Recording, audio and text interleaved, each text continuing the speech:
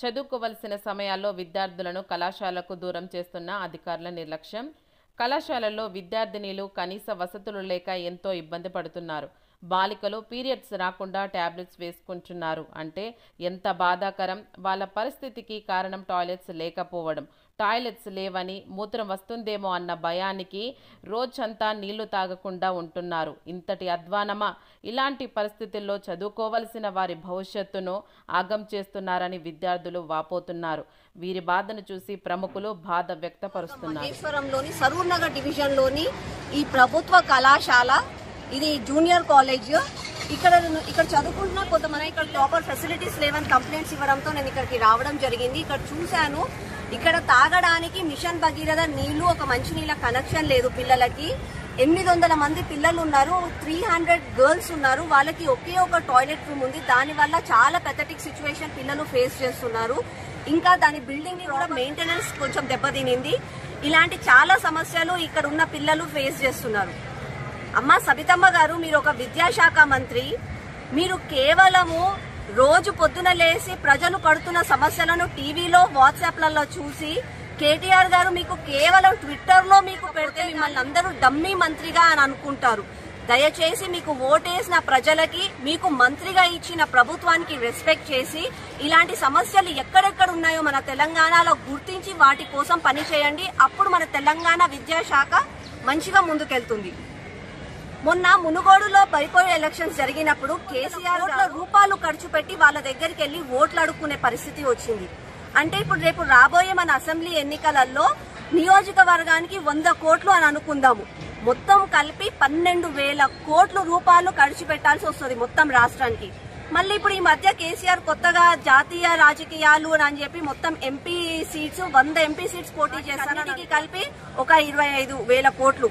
అంటే ఓవరాల్గా కేసీఆర్ కేవలం ఓట్లు అడగడానికి ఎలక్షన్ టైంలో అన్ని కలిపి ఆయన నలభై వేల కోట్ల రూపాయలు ఖర్చు పెడుతున్నారంటే ఒక్కసారి అర్థం చేసుకోండి. కేసీఆర్ గారు ఇవన్నీ డబ్బులు మీరు ఎలక్షన్స్కి ఖర్చు పెట్టకుండా మన రాష్ట్రంలోని ఇలాంటి ప్రాశాలలు ప్రభుత్వ ఆసుపత్రులు డెవలప్మెంట్ వర్క్స్కి ఖర్చు పెట్టుంటే మన తెలంగాణ ఎప్పుడో బంగారు తెలంగాణగా మారిపోయేది. కానీ ఇవన్నీ మీరు చేయకుండా కేవలం ఇవే చేస్తున్నారు అని అంటే ఈ ఎనిమిది సంవత్సరాలలో మీరు ఎంత సంపాదించుండొచ్చు మన తెలంగాణ రాష్ట్రంలో? అందరూ అంటున్నారు సుమారు మీరు రెండు లక్షల వేల కోట్ల రూపాయలు మీరు సంపాదించిండ్రు అని అంటున్నారు. అది ఎంతవరకు నిజమో తెలియదు కానీ దయచేసి మన తెలంగాణని మనం కాపాడుకుందాం. సారి మేలుకోండి. ఇలాంటి సమస్యలు తెలంగాణలో చాలా ఉన్నాయి. దయచేసి మన తెలంగాణని కాపాడుకొని మన బంగారు తెలంగాణని మనం సాధించుకుందాం. నిన్న ప్రభుత్వ జూనియర్ కళాశాలలో పిల్లలు ధర్నా చేయడానికి కారణం ఈ టాయిలెట్.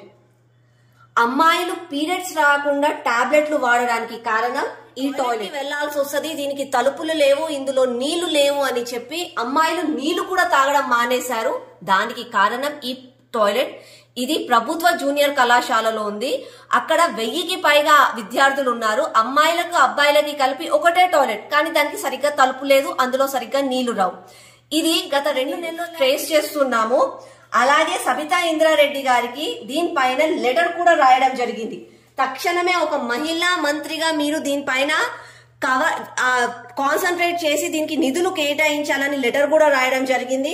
అలాగే అమ్మాయిల వ్యక్తిగత సమస్యలు అర్థం చేసుకుంటారని ఆశిస్తున్నాము అని కూడా కోరడం జరిగింది. ఇంతవరకు కూడా ఎలాంటి ప్రాసెస్ జరగలేదు కాబట్టి నిన్న పిల్లలు దీనిపైన ధర్నా చేశారు. చేసి ధర్నా చేసిన తర్వాత అక్కడికి వచ్చిన డిఈఓ గారు ఒక వారం రోజుల టైం అడిగారు. వారం రోజులలో గల ఒకవేళ అక్కడ టాయిలెట్స్ ఏమీ అరేంజ్ చేయలేదు ఇంకా ఏమి ప్రాసెస్ స్టార్ట్ చేయలేదు అని అనిపిస్తే నేను నా సొంత నిధులతో అక్కడ టాయిలెట్ని నిర్మిస్తాను.